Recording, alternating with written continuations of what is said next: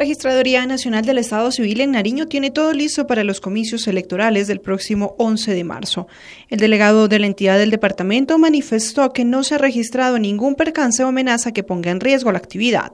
En varias conversaciones que hemos tenido con la fuerza pública, mm, ellos nos han garantizado seguridad absoluta en todo el departamento. Habrán municipios, eh, habrán perdón, puestos de votaciones de difícil cobertura. Sin embargo, eh, la policía, el ejército, la armada eh, establecen una cuestión que ellos llaman seguridad de área, motivo por el cual estamos tranquilos al respecto.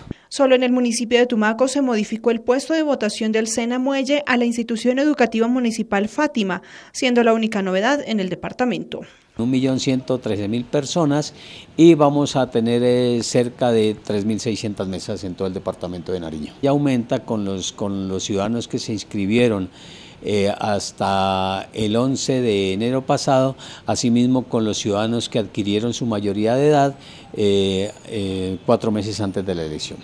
Es falso que durante estas elecciones se ubiquen tarjetones diferentes al Senado, Cámara y consulta presidencial. Eh, la tarjeta electoral para Senado y Cámara, que es la elección constitucional que estamos celebrando a renglón seguido, como quiera que haya una consulta interpartidista y grupos significativos de ciudadanos para escoger un candidato a la presidencia de la República, es el ciudadano quien debe solicitarle a los jurados la tarjeta electoral de una u otra consulta. El jurado no está en la obligación de entregársela sino, insisto, el, el ciudadano es el que debe pedirla. En Nariño no se registró ningún comité cívico por el voto en blanco.